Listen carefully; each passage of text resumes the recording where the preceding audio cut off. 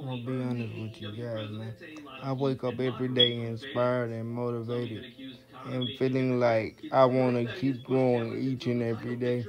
I want to keep reaching new levels. And the greatest thing about what I do is it allowed me to find a great support system where I can finally depend on people when I need support and I'm not used to being able to lean on. Well, I am used to being able to lean on people, but I'm used to being the type of person where when something happens, you deal with it yourself. You keep it in, you don't tell nobody, you just make it the best way you can. And you find your own way of solving your own problems because that's just the way, that was the mentality I taught myself to survive. But the thing I'm coming to understand now is that's a crazy mentality. It's okay to trust people. You just got to be careful who you trust and who you put your value in.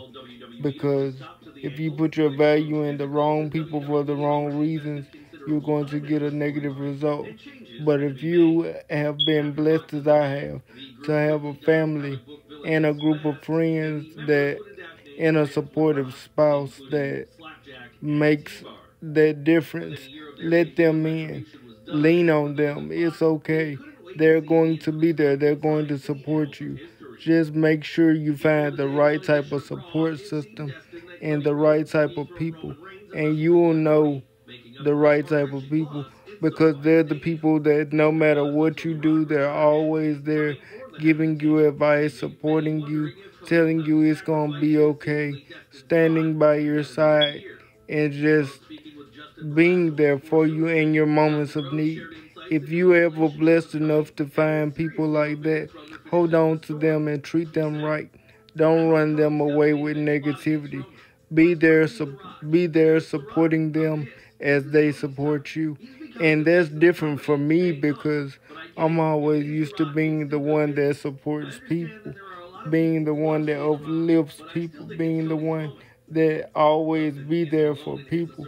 So it's just different for me having somebody really there for me and letting people in because even with a supportive family, I had developed the attitude when I was younger that I would do it all myself. Didn't nobody understand.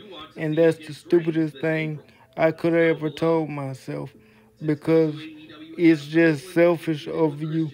So let people in and let them know what's going on, in my opinion.